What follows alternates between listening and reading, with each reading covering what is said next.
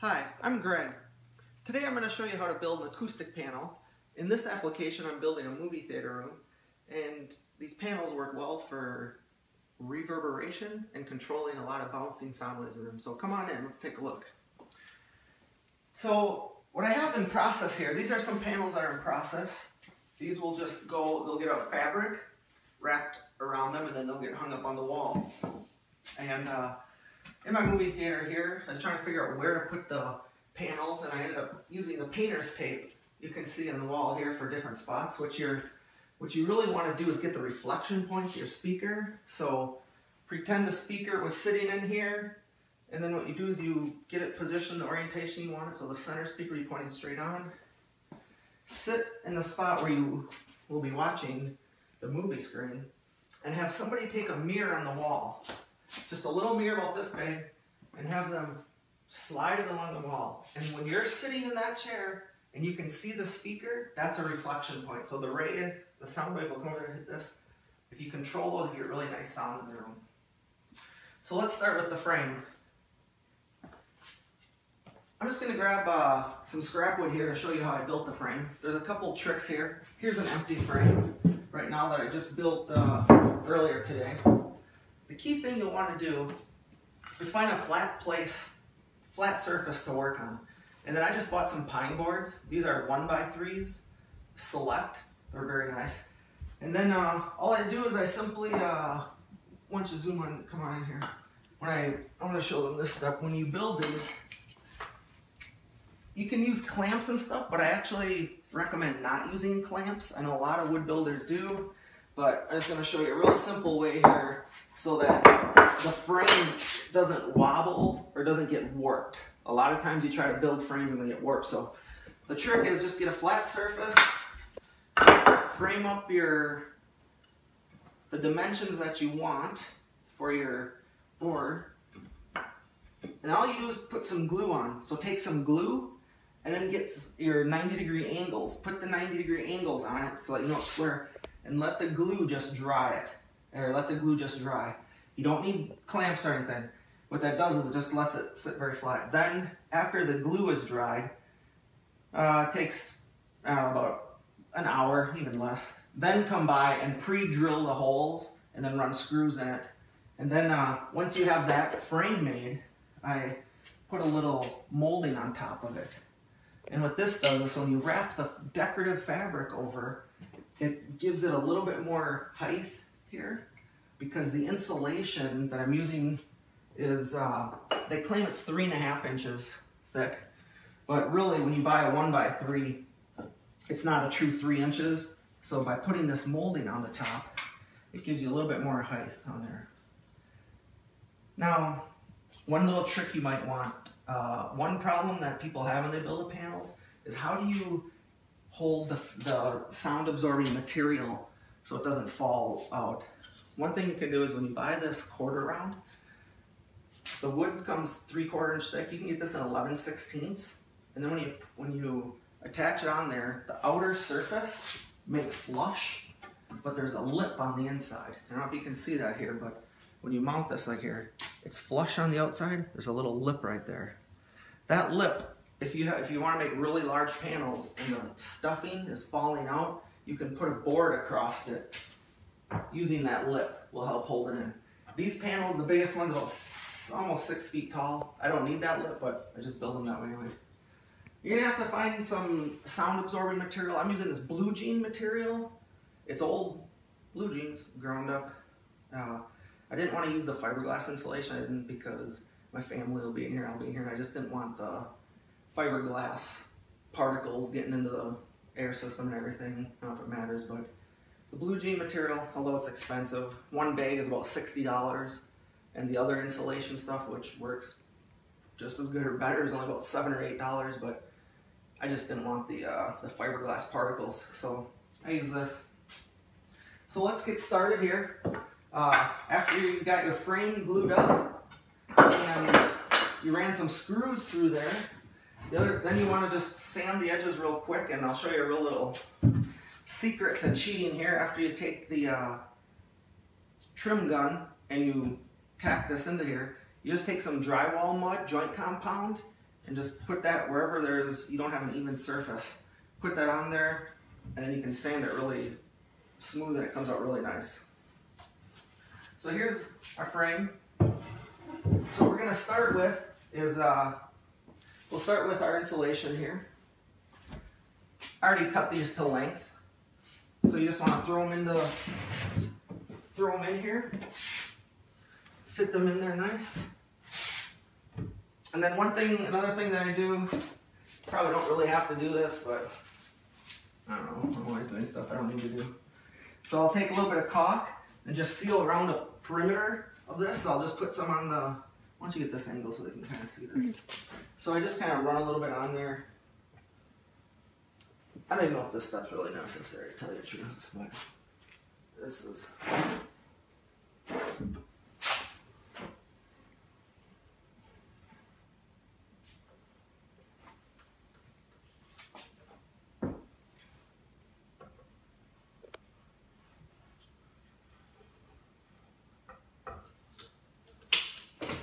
enough, just helps hold it in there a little bit.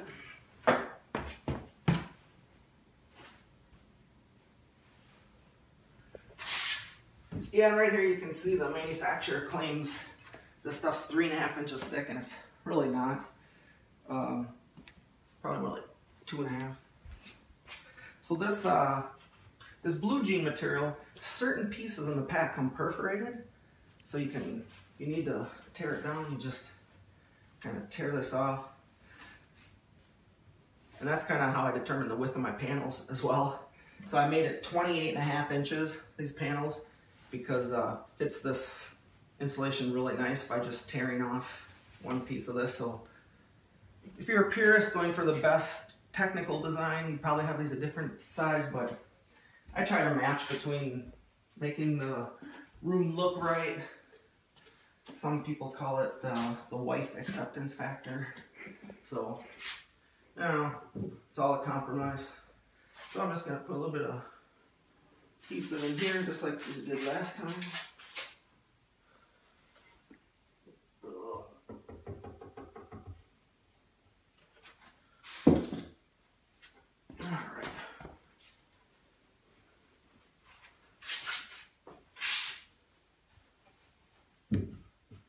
Now this frame I have, this is the top of the frame, which is gonna be the surface you'll see once it's wrapped. So I just start with that. Get that tucked in nice. The other thing that I do is, if you got some seams like this, help them stay together. Just lay a little bit of, I just lay a few beads of caulk in here. So it just kind of seals together the, just to help support the material so over the years it doesn't fall down. You just cake this in there.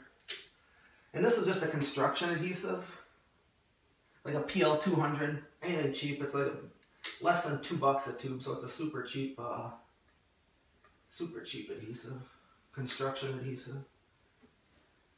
And I also like to run them in a little bit more. Tuck them in there nice. The rooms just sound so nice when they have the right uh, treatment on the walls. There's all kinds of scientific research on how much you should treat it. Some people say no more than a third, two thirds. I don't know, you get all kinds of arguments over what works, but just do it and listen and you'll know when it's right. So that's pretty good right there. Um, now for one other little trick that I do here. This is worth its weight in gold. It's just a little stapler. And I'll go around and I'll just kind of tack it in. Just kind of, this denim stuff bunches up real nice. You can, again, this just helps hold it in.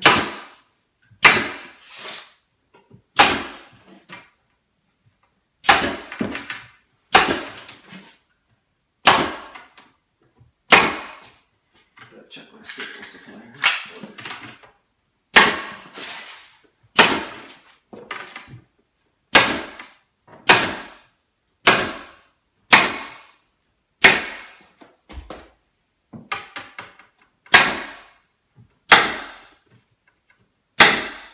All right, I'm gonna throw in some staples real quick.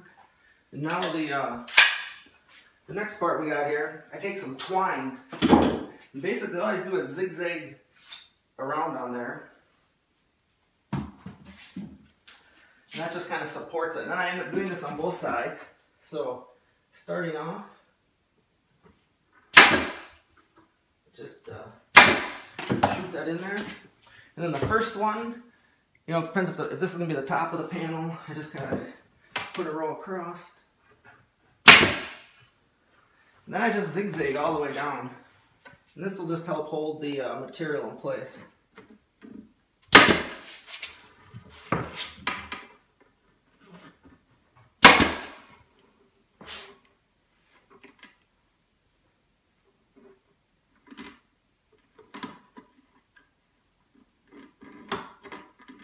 And then um, the smaller these panels are, they're a little bit easier there.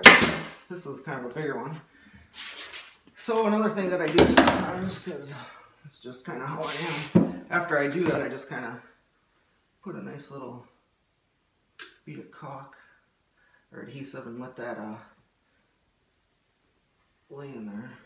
And remember, even though this is the front, once this is all finished, we're going to wrap this in a real decorative fabric that matches the decor of the room. So we're just to keep going like this.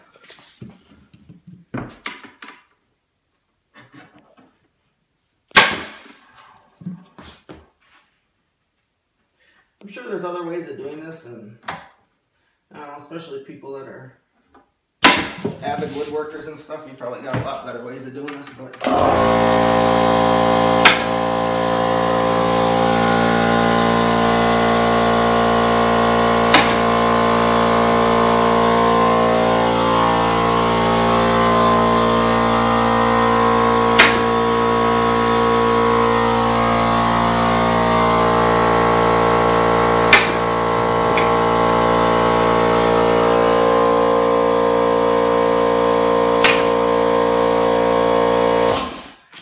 Sorry about that. So we got the zigzags done, and then at the end I take one uh, big uh, roll here. I'm just put a little bit more caulk on a few more of these joint pieces here. Especially on these bigger panels, I worry in the middle about the about it uh, sagging. I'll call it. I'm not sure what.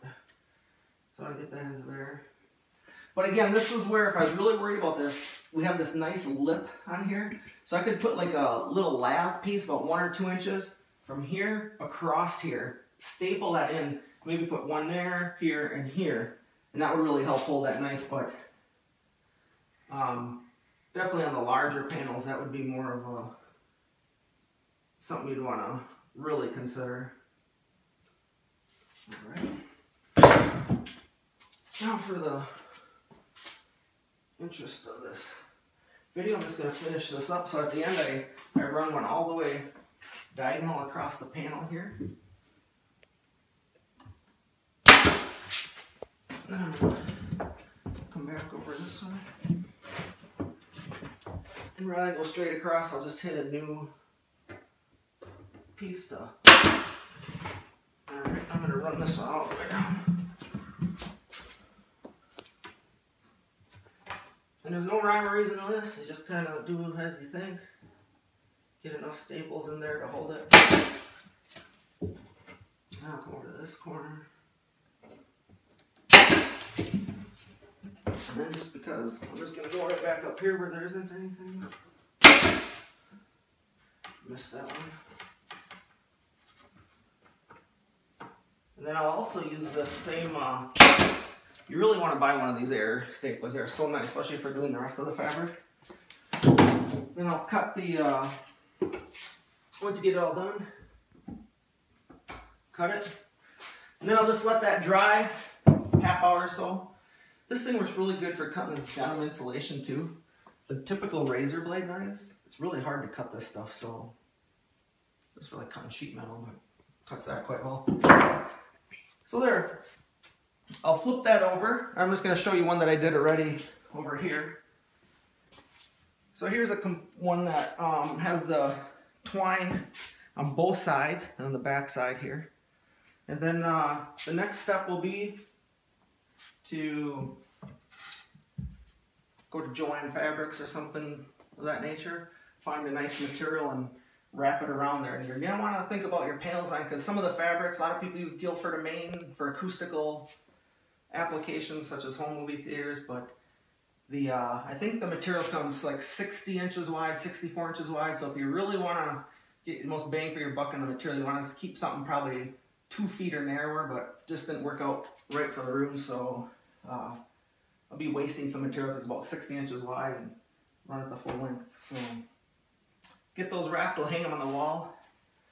I'll probably have to put some kind of little cushions or bumpers as they're hanging on the wall because we're gonna have a lot of bass in here. I mean, this whole house is gonna be shaking. We're gonna have probably 4,000 watts just for bass and a lot of 18 inch subwoofers. So they'll, can end up rattling on the wall. So we'll want to uh, somehow contain that. So thank you for watching this video.